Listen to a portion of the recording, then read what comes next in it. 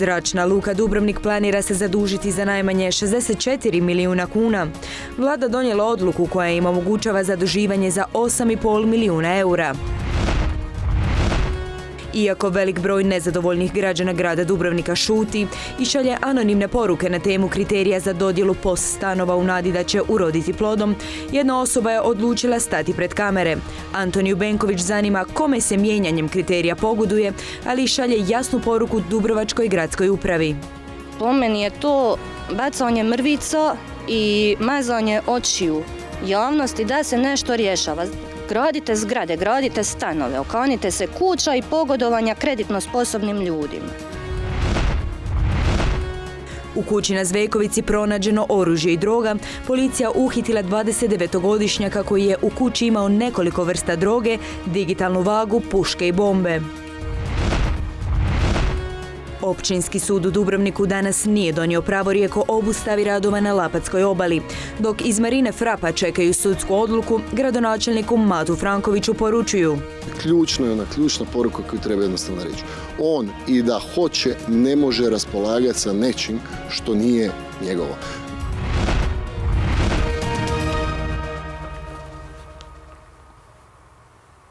Dobro vam večer u dnevniku Dubrovačke televizije. Vlada je na upravo održanoj sjednici donijela odluku o kreditnom zaduženju Zračne luke Dubrovnik u iznosu od 8,5 milijuna eura, odnosno više od 64 milijuna kuna. Objavio je prvi Dubrovački portal. Uslijed posljedica pandemije Zračna luka Dubrovnik je tijekom 2020. godine zabilježila negativne rezultate poslovanja te je ostvarila gubitak u iznosu od 136 milijuna kuna. Podaci za 2021. godinu još nisu javno dostupni, a u posljednjih 20 godina uz iznimku 2020. i 2021. nije zabilježeno negativno poslovanje zračne luke. Skupština Zračne luke je na sjednici održanoj 22. listopada prošle godine donijela odluku kojom se odobrava kreditno zaduženje Zračne luke i to za potrebe osiguranja likvidnosti društva. Podsjetimo, na Skupštini Zračne luke Dubrovnik, održanoj prošli tjedan u Zagrebu, ponovno je produljen mandat dosadašnjem direktoru Franu Luetiću, koji je već odavno ispunio sve uvjete za mirovinu. Inače, puno je nepoznanica oko ove cijele situacije koja se odnosi na imenovanje nove čelne osobe Dubrovačkog aerodroma.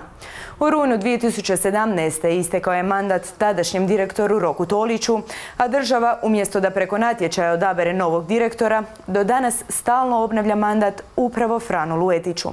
Podsjetimo kako su već bila raspisana dva natječaja za čelnu funkciju ove tvrtke u državnom vlasništvu, no ova su poništena, a u resornom ministarstvu mora, prometa i infrastrukture na čelu s Olegom Butkovićem nikad nisu dali konkretne odgovore na naša novinarska pitanja. A s aviona idemo na brodove i to vojne. Na Mljet je jučer stigao desantni brod Minopolagač Krka i na otok, kako su ispričali mještani za morski HR, dostavio poprilično puno vojne opreme i osoblja.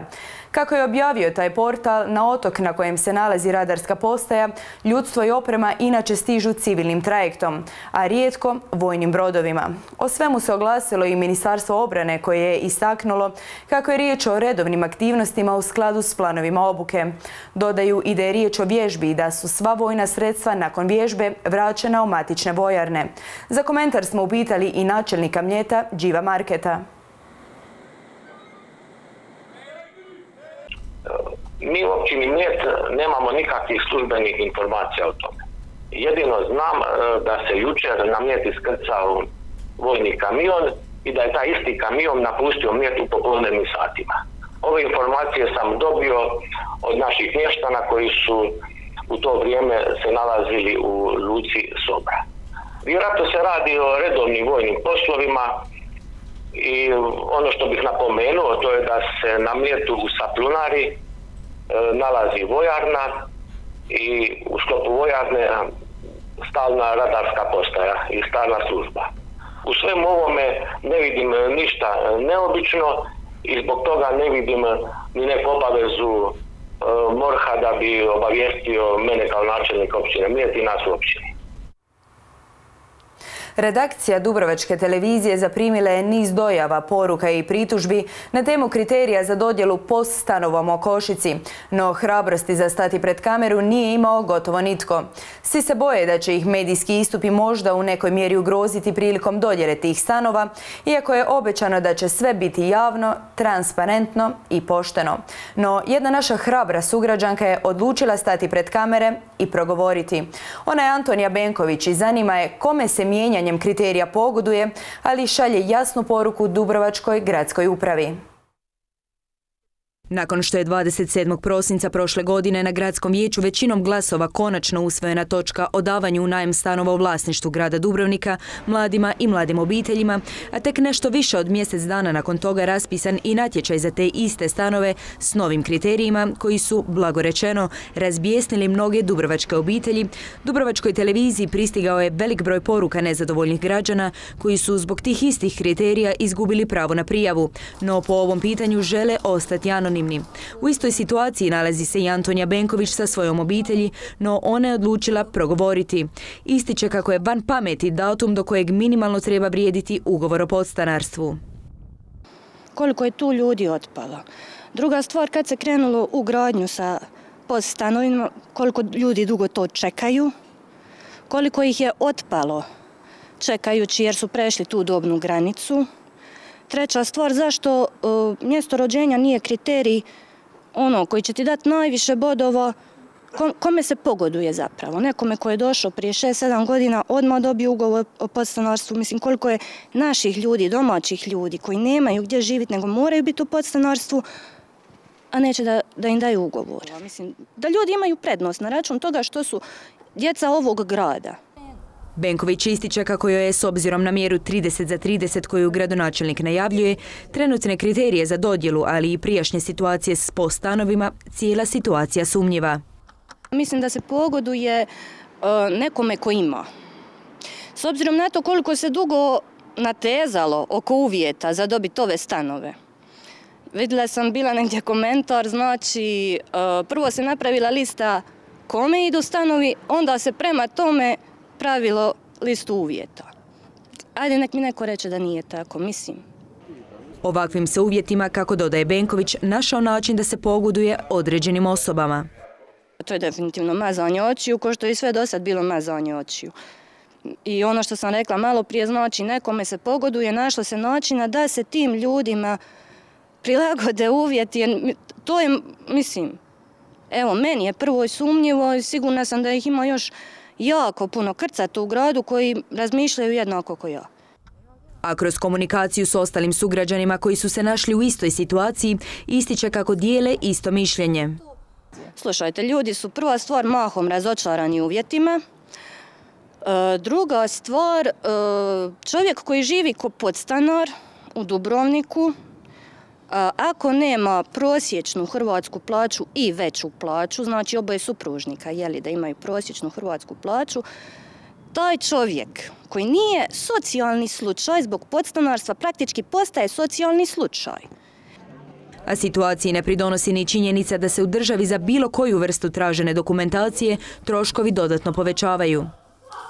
E, imate ljude koji će posuđivati novce za e, ove papire, sve što treba skupiti, da se skupe, da se preda i molit Boga da dobiju ove stanove.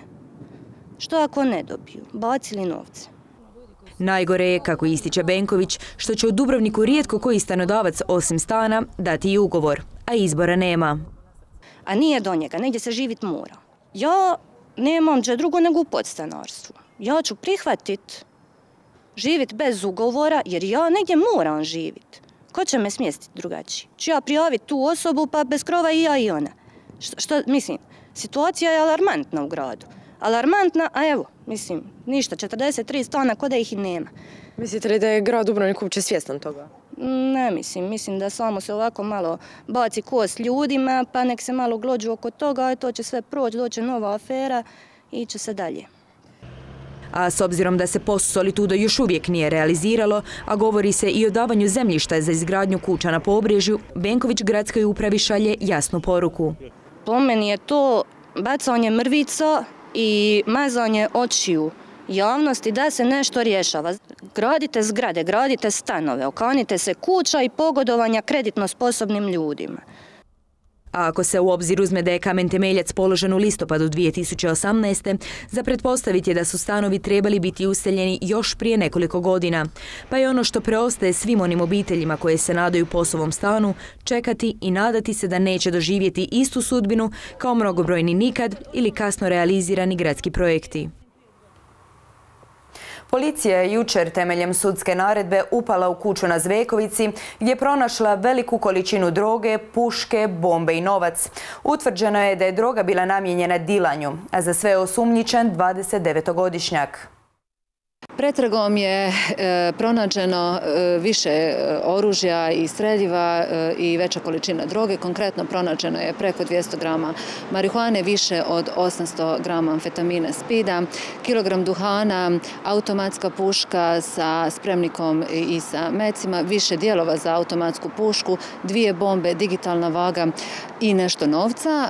Osumnjičeni muškarac je uz kaznenu prijavu za dva kaznena dijela, za kazneno dijelo neovlaštene proizvodnje i promet drogama i za kazneno dijelo neovlaštenog posjedovanja oružja i streljiva.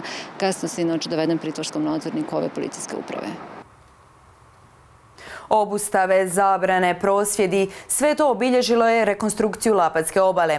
Umjesto da pričamo o uspješnoj realizaciji projekta koji bi preporodio dio grada, na spomen ove teme najčešće se čuju negativne konotacije.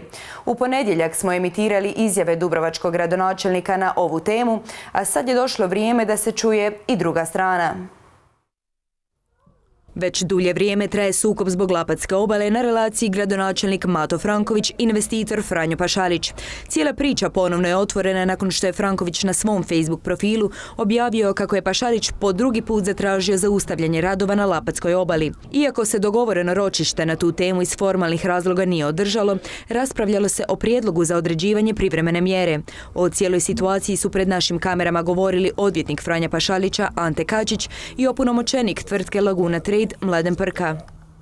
U pogledu zahtjeva za određivanje privremene mjere, e, sud je očito procijenio izglednim i u konačnici svrsishodnim da sa punomoćnicima stranaka koji su danas bili u sudnici, da e, raspravi još jednom ispita zapravo sve one okolnosti koje su mu potrebne radi donošenja odluke i moje neko predviđanje i pretpostavka je da će sud sigurno donesti određenu odluku u pogledu tog zahtjeva. Kako će ono biti, doista ne mogu prejudicirati niti, niti želim. No, Franković od ove priče ne odustaje, pa je u borbu za Lapatsku obalu u prosvjed poveo cijelu gradsku upravu. Ipak, odvjetnik Kačić ističe da do prosvjeda nije trebalo doći, te kako je prosvjed potpuno pogrešno upućen. Zato što se je proširenjem Lapatske obale došlo je do ulaska u dio već odobrene koncesije koju isključivo je data u koncesiju i koristi isključivo Laguna Trade. To po nama nije dopušteno i nije zakonito. Dakle, sasvim razumijemo prosvjed stanovnika Lapatske obale koji su trpili i za vrijeme gradnje same marine koje koji trpe sada za vrijeme obnove Lapatske obale, ali to nikakve veze sa Lapatskom obalom i sa proširenjem Lapatske obale nema. Iz dopisa 2015. godine jasno se vidi, kako dodaje Kačić, da je ministarstvo još tada upućivalo grad Dubrovnik što treba napraviti kako bi došlo do proširenja Lapatske obale. U ovom slučaju Laguna Trade isključivo štiti svoj interes, a to je da štiti ono područje što po zakonu i mora, koje je dato u samu koncesiju. Dakle, Laguna Trade nije ni ovlaštena s bilo kime pregovarati i reći možeš uzeti ili ne možeš uzeti. Zanimljivo je i kako je Pašalićev potez Dubrovačkog gradonačelnika koji ga je prozvao za nezakonita djelovanja naveo da zaprijeti poništenjem koncesije. Ne možemo komentirati nešto što nismo vidjeli. Iz javnih priopćenja ja doživljam da je to više nekakva, kako da kažem, više nekakva politička, a ne pravna, ovaj, ne pravna akcija koja je poduzeta. Ja doista ne vidim postojanje jednog zakonitog razloga da bi, ne, ne vidim u konačnici ni postojanje opcije da grad bude taj koji nešto zahtjeva traži, ali vidjet ćemo u osobno ime i ime kolege Prke mogu reći da mi takav zahtjev nismo dobili. Mi znamo samo iz medija da je pokrenut i najave da će biti pokrenut. Je li on pokrenut? Vjerojatno jest, ali mi nikakvu, nikakvih saznanja o tome nemamo, niti možemo se očitovati nešto što ne znamo što piše u tom eventualnom dokumentu. Ipak Prka šalje jasnu poruku dubrovačkom gradonačelniku. Ključno je ona ključna poruka koju treba jednostavno reći. On i da hoće ne može raspolagati sa nečim što nije njegovo. Znači oni moraju postupati u skladu sa važećim zakonima i važećim propisima jer to je interes u konačnici i samog grada, to je interes i svih stanovnika Lapatske obale, to je interes i svih poduzetnika unutar Lapatske obale, uključujući i trgovačko društvo Laguna Trade. Jedno je sigurno, politička trakavica oko Lapatske obale koju ćemo nastaviti pratiti ne odgovara ni Pašaliću ni Frankoviću. Svima je u interesu priču privesti kraju, no postavlja se pitanje pod kojim i čijim uvjetima. Korona, turizam, sport i vrijeme. Sve to obilježit će drugi dio današnjeg dnevnika. U Dubrovačko-neretvanskoj županiji u posljednja 24 sata zabilježen je 191 novi slučaj zaraze. U općoj bolnici Dubrovnik hospitalizirane su 42 osobe pozitivne na koronavirus. Dubrovnik već ovo ljeto dobiva svoj prvi gay bar. Bit će smješten u povijesnoj jezgri u ulici Marojice Kaboge. Donosimo reakcije naših sugrađana. Sutra započinje školska košarkaška liga koja je podijeljena u dvije uzrasne kategorije. Obje lige igrat će se u tri turnira. Petkom na DUTV-u stanuje kultura. Od 20 sati ne propustite kulturni razgovor urednika Žarka Dragojevića, a od 21.35 Art Cafe Miša Mihočevića.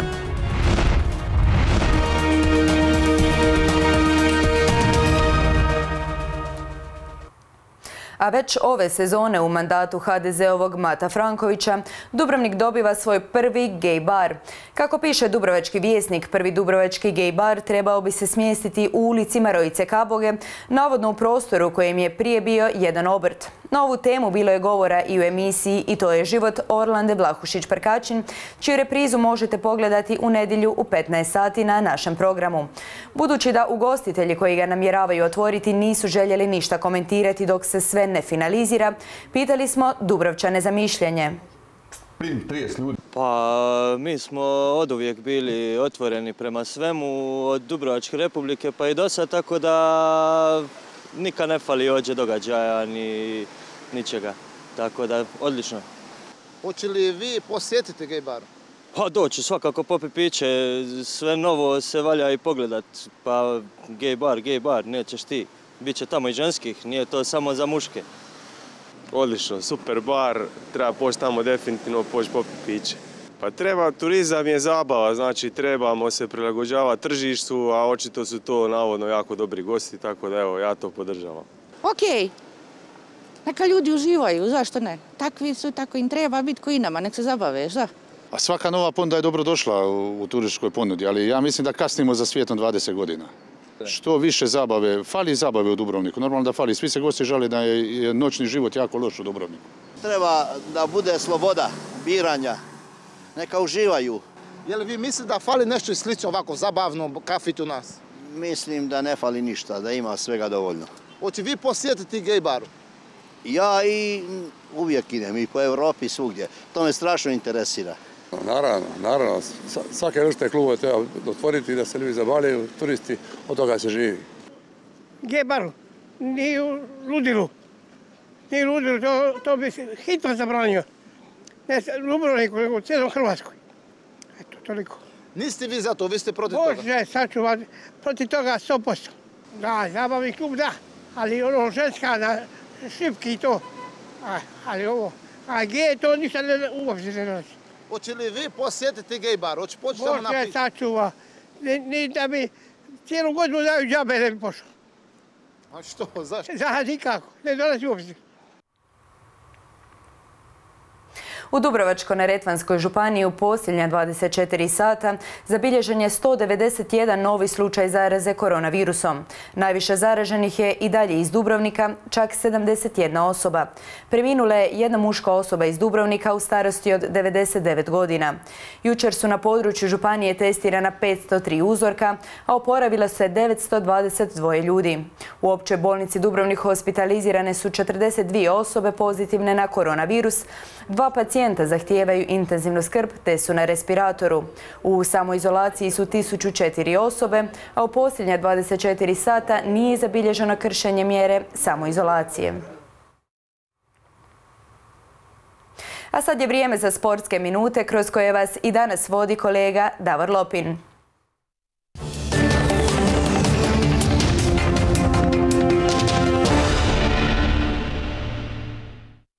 Dobran večer, poštovani gledatelji. Mlađi juniori Juga ostvarili su dvije pobjede na prvenstvu Hrvatske. Nakon što su sinoć sladali mladost 11-9, jutro su bili uspješniji od Jadrana 10-9. Treću utakmicu igraju protiv Splitskog Poška. A nakon vaterpola okrećemo se košarci. U sklopu projekta Libertas 365 sutra započinje školska košarkaška liga koja je podijeljena u dvije uzrasne kategorije. Mini košarka od prvog do četvrtog razreda te peti i šesti razredi. Obje lige igraće se u tri turnira. Plan je kako su istaknuli iz košarkaškog kluba Dubrovnik da projekt Libertas 365 zaživi u cijelosti već ove godine, a prvi korak je školska liga koja će biti temelj za iskorak ovog sporta na cijelom dubrovačkom području. Osnovali smo Cavtat, osnovali smo Grudu i njih smo uključili ovu košarkašku ligu. U ovo doba pandemije morali smo nešto organizirati da djeci bude malo zabavno jer stvarno bili su dosta u svim izolacijama i ovim u izolacijama i u koroni, tako da ovo će biti jako, jako zanimljivo za njih. Prvo kolo utakmica školske lige za pete i šeste razrede igraju se u dvorani osnovne škole Montovjerna, dok će se mini košarka igrati u Župi Dubrovačkoj. E, planiramo da svaka školska dvorana odradi jedan turnir, da bude svakoj školi zanimljivo i da se košarka širi na području Dubrovačkog. Natjecanja su jako važna, da se oni druže, da imaju neku nagradu, da imaju za nagradu, nagradu za treniranje. Tijekom predposljednjeg treninga u Župi Dubrovačkoj, a uoči početka školske lige, mnoštvo malih košarkašica i košarkaša koji su pokazali već sad zavidno znanje. Pred našim kamerama otkrili su zašto baš vole ovaj sport i tko im je košarkaški uzor. Pokušavao sam nove sportove i kad sam probao košarku bila mi je jako dobra. Koliko dugo već treniraš? Dva ili tri mjeseca. I kako te ide? Jako dobro. Što ti je najdraži na trening? Kad igramo. A ko ti je najbolji igrač na svijetu? Pa svako ko je dobar. Nema nekoga najdražeg. Što ti je najdraži na trening? Kad pucamo slobodna bacanja, pogotovo ja. Liga za pete i šeste razrede započinje u subotu od 10.30 u dvorani osnovne škole Montovjerna, a mini košarka u nedjelju također od 10 sati i 30 minuta, ali u dvorani osnovne škole Župa Dubrovačka. A sutra košarkašice Raguze očekuje dvoboj 13. kola premijer lige. Ugostit će ekipu Šibenika, koja je trenutačno na devetom mjestu u poredku 12 ekipa. Raguza je u oči ovog dvoboja na drugom mjestu ima bod manje od ekipe Medveščaka. Utakmica se igra od 16 sati.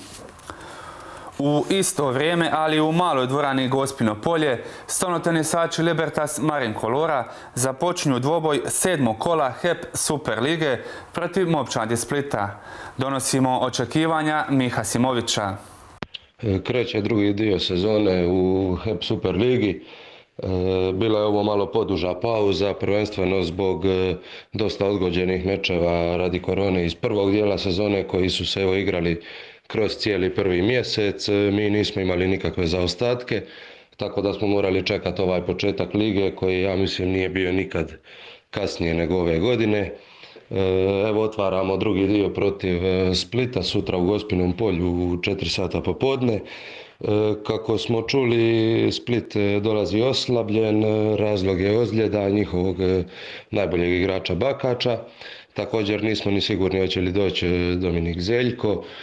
Očekujemo jednu, ako dođu oslabljeni, laganiju pobjedu i onda kreću pripreme za tri tjedna nas čeka meč protiv Zagreba u Zagrebu gdje moramo pucati na pobjedu i vjerojatno bi tom pobjedom se približili jako, jako blizu još jednom naslovu prvaka. Sat vremena nakon početka utakmice Raguze i Libertas Marinkolora, svoju utakmicu prvenstvenog kola druge Hrvatske rukometne lige Jug započet će rukometni klub RDA koji će ugostiti momčad Makarske. Dvoboj trenutačnog lidera i desetoplasirane momčadi igra se od 17 sati u dvorani osnovne škole Župa Dubrovačka a nakon rukometa ponovno se okrećemo košarci. Nakon neuspjeha protiv Kvarnera, poraza 73-71, košarkaši Dubrovnika tražit će preko Zagreba povratak na pobjednički kolosijek. U redovima momčadi trenera Ivana Perenčića optimizam, a nakon ozljede trebao bih svoj doprinos dati Kristijan Andabaka. 11 pobjeda ostvarila je momčad Dubrovnika u prvoj ligi ove sezone, u kojoj ima cilj osigurati plasman u najjači rang. Uz 11 pobjeda Dubrovački košarkaši opisali su i šest poraza. Šest je bio u ponedjeljak kod Kvarnera u Rijeci i to sa samo dva koša razlike.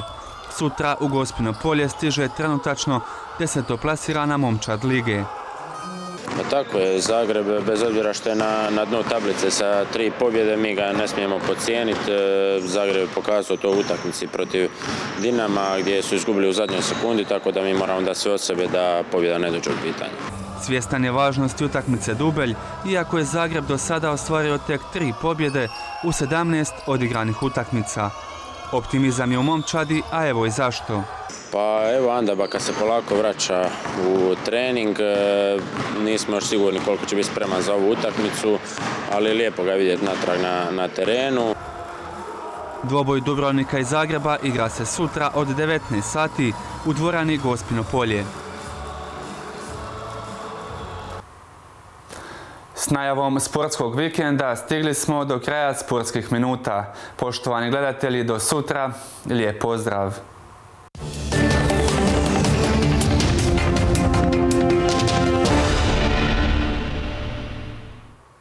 Kakvo nas vrijeme očekuje sutra, ali i za vikend, saznat ćemo u vremenskoj prognozi.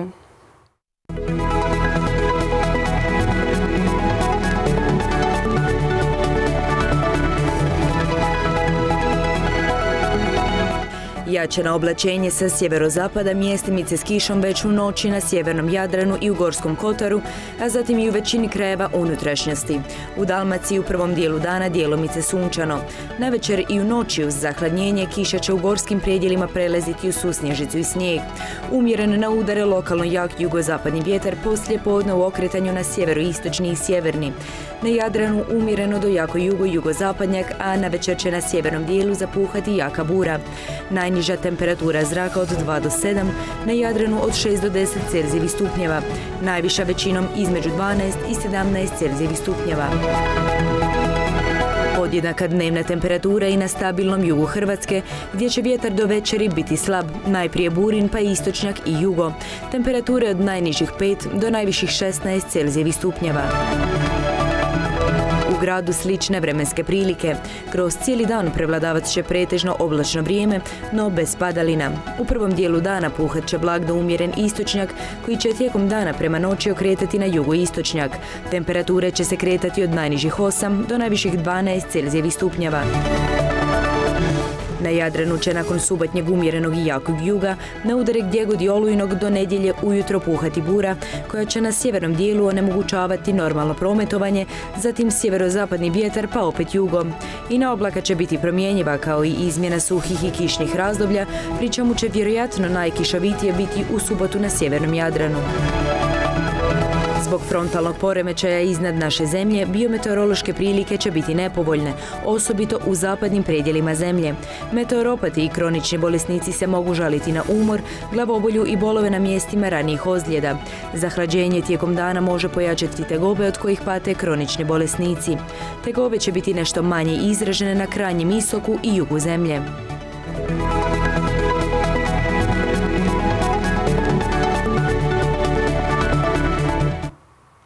Pratili ste Dnevnik. Sutra je s vama kolega Pasko Tomaš. Hvala vam na pažnji. Do sutra. Lijepi pozdrav.